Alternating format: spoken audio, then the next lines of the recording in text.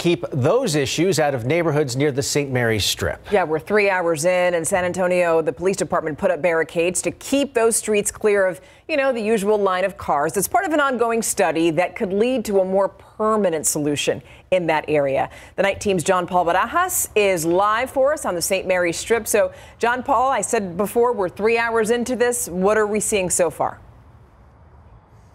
Tim, Stephanie, uh, I heard y'all talking about it earlier. Fiesting. Everybody's having a good time, but the St. Mary Strip is slow. Business isn't moving too fast right now. But we have run into some people who did not know the barricades were going up until they actually used this side street to park on a lot and were upset that they had to park farther than they would have liked. Now, other people who did know that this was going to be happening had lots of mixed reviews about those barricades and that closed to through traffic sign being up and being the solution.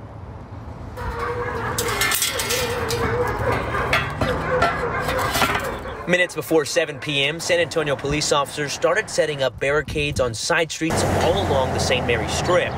The hope to detour bar goers from parking in those neighborhoods. There's more than a dozen barricades and several police officers on scene, which is frustrating for some. It's a little drastic, man. Like, you know where you're living. Like, you don't go to a vegan restaurant and ask for a steak. Stephen Story lives in the area. Some of his neighbors don't share his viewpoint, saying they're happy something is being done. The president of the Tobin Hills Community Association, Parker Dixon, explained people coming out to have a good time have a blatant disregard for their homes. Drunken behavior is, is as if uh, as if we don't exist. You know, they, they use our lawns to, to go to the bathroom, they vomit, they and uh, they sit and drink in front of our properties in their cars, and then they just leave their trash. This is day one of the pilot program that residents and authorities agreed on. Dixon adding this is just a test and part of a parking study to observe where people will park with roads closed. Some question if police were going to be checking IDs at the barricades, but tonight that only appears to be happening at local bars.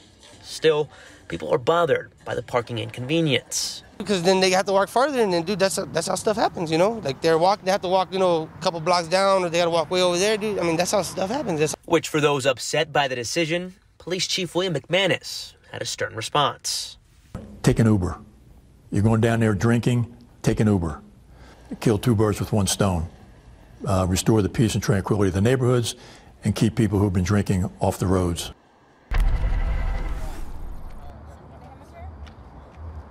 Uh, people here tell us they don't expect a large crowd till about midnight or through the weekend. And that's when the true test will be if these barriers are enough.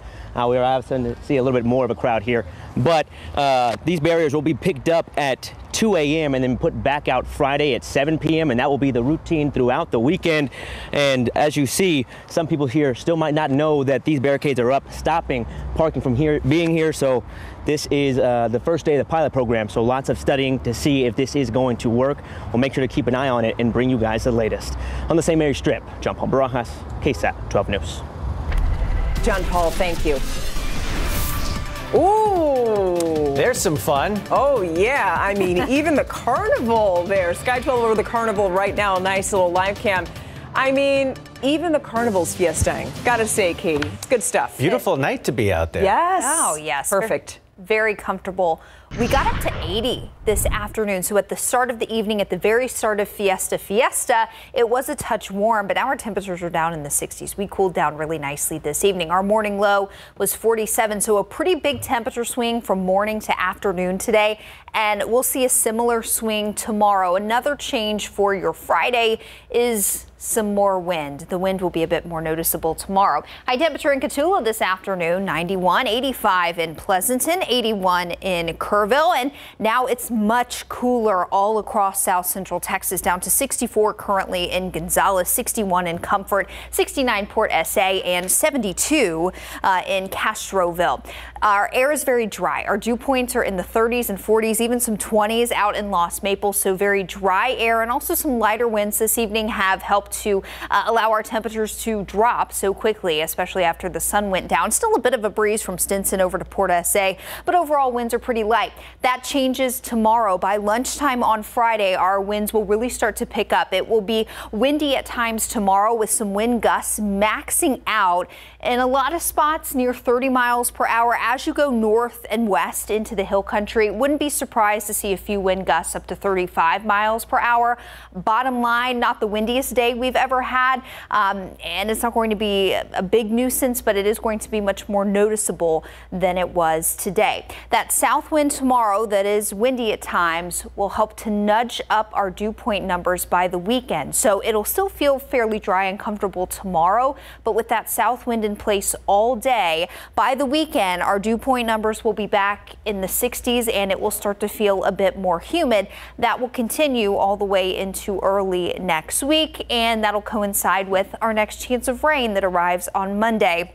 And I know we've been saying it, but boy, we need it. Here's the very latest drought monitor. This is updated each Thursday, so this is the latest uh, snapshot for you. The whole KSAT 12 viewing area um, is under some type of drought with the worst of it south and west. Places like Cotulla over into southern Maverick County. That's where we have exceptional drought. That is as bad as it gets. So our next chance of rain is much needed, highly anticipated. Unfortunately, it won't be all that we need, but we will see an isolated chance of rain pop in Monday and even some scattering of showers and storms late Monday into Monday night. And the setup here, what we'll be watching over the next couple of days is an upper level low moving in from the west coast. This will sweep over Texas Monday and Monday night, bring us some lift, some rain making energy, and that'll bring us the chance of rain Monday into Monday night. That does coincide with the river parade, of course. Still a little too early to nail down exact timing for these rain chances on Monday, but you know, we'll keep you updated over the next couple of days. No rain for your Friday, just another pretty sizable temperature swing from morning to afternoon and also a bit more wind. Warm this weekend and then that rain chance on Monday. Keep your KSAT weather app handy. We'll keep you updated there and also for all the other Fiesta events. Guys. Oh, yeah. Thank you. Mm-hmm.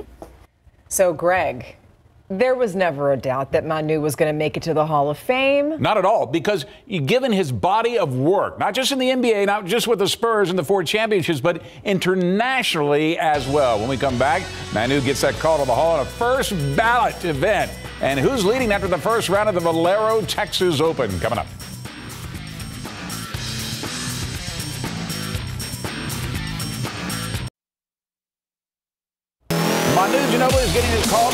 Sources confirming what was reported earlier today by The Athletic that the four-time NBA champion will be a first ballot member of the Naismith Basketball Hall of Fame for the class of 2022. The official announcement will come Saturday at the Final Four of the NCAA tournament after Manu helped lead the Spurs to championships in 2003, 5, 7, and 14 before retiring in 2018 as one of the most popular players in Spurs history. He brought the Euro step to the NBA along with the way he helped his home country, Argentina, win an Olympic gold medal. Meantime, our San Antonio Spurs has some work to do. They want to catch the Lakers for the 10th and final play-in position with just six games left in the regular season. That's after they missed a golden opportunity to upset the number two seeded team in the West, the Memphis Grizzlies, when this last-second attempt would not go down for Keldon Johnson. The Spurs fell 112 to 111. But they are only a half game behind the Lakers. They get a chance to host the Blazers twice in the next three days, starting tomorrow night. But don't ask about the beatdown they put on the Blazers as part of their undefeated road trip. That's right out the window. Uh, we can't look at that. Uh, these are two big games back to back that we need to win. Um, so that's all we're focused on.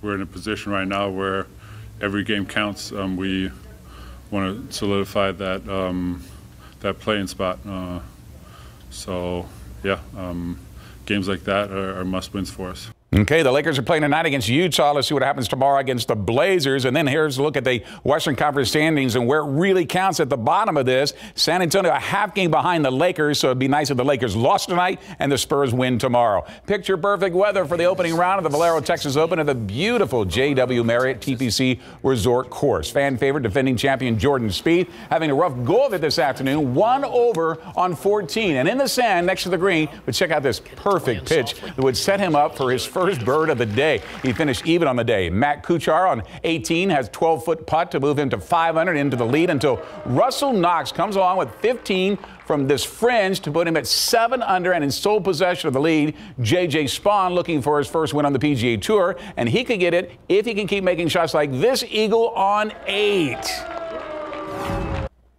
I feel like that's the best feeling going from one over to one under. So that was that kind of gave me a lot of energy and you know confidence going the rest around. A lot of good and bad that can happen here. I feel like this this place really punishes the bad shots, but it's, it's a type of course that it rewards good quality shots, and uh, I was able to kind of maintain some some good golf throughout my second nine today. All right, take a look at the leaderboard here. One stroke lead right now just for Russell Knox. You see Matt Kuchar in there at five under, along with three others. You take a look at some other notables. It includes Finau two under, McIlroy even, along with Rickie Fowler and Jordan Spieth. The National Invitational Tournament with Texas A&M and Xavier comes down to a last shot.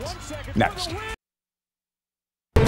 The Aggies in the Big Apple tonight, Madison Square Garden, taking on Xavier Musketeers for the NIT Championship. Now, Aggies Quenton Jackson going to work down low for the bucket to get A&M within three. He led everybody with 23 points tonight. The Aggies would take the lead 72-71 on free throws. Xavier with the ball, 5.9 seconds to play. They inbound to Jack Nunge in the paint, and he gets a one-handed bank shot to fall. Xavier takes the lead 73-72. Aggies have 3.1 seconds left. Have to go the length of the court. Hassan Diarra gets it to Tyrese Radford, who races down court, pulls up with the jumper. And if it would have been good, it would have been the game winner. But it's not. It's in and out. Aggies drop a heartbreaker 73 72. The Northside Swim Center hosted the first full day of competition for the TYR Pro Swim Series with prelims this morning, finals this evening. And Olympic superstar Katie Ledecky competed in her first long course race here in the Alamo City. KSAT 12's Andrew Seeley was on hand and has more.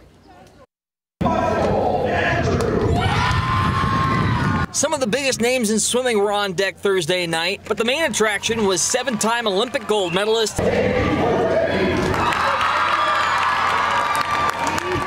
The most dominant female swimmer in history added another win to her resume, touching first in the A final of the 200 meter freestyle in 1 minute 55.66 seconds, right where Ledecky wants to be. Yeah, I felt good. Um, it's great to race here in San Antonio. Um, great facility and a lot of fun to see some some friends and get some good racing in as we gear up for a big summer. U.S. trials for the World Championships are about a month away, so this meet serves as a valuable training tool for the nation's best swimmers. Just focusing on the details and um, trying to execute race plans, and it feels great to have uh, more of a normal atmosphere at meets now. Um, fans back, which is awesome. Great to see some faces in the in the crowd and get that energy behind us again. Ledecky has two more events she will compete in here at this meet. Tomorrow morning, she's going to dive in for the 400 meter freestyle, which is going to be the longest event she will swim at this competition.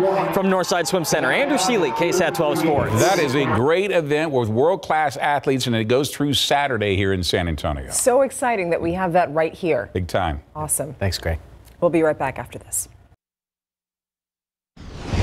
All right, so you know by now, Fiesta's here. Right now on KSAT.com, we have a peek at past celebrations and traditions, and some of the photos that you're going to see online date back as far as 1904. Yeah, pretty cool. There are pictures of parade floats, crowds, and Fiesta royalty. It's all online for you at KSAT.com. Imagine trying to get a forecast for Fiesta events back in 1904. Oh, they just hung the old rain rock Yeah. and said, we'll go for it. Touche. uh, all right. Well, our only chance of rain here in the seven day forecast comes Monday and Monday night, of course. That is the River Parade. We'll be watching forecast trends very closely the next couple of days, so keep checking in with us, guys. Just need the ponchos. All right, thank you. Well, that does it for the night beat. Don't forget that Good Morning San Antonio starts at 4:30. Good night. We'll see you this weekend. Good night.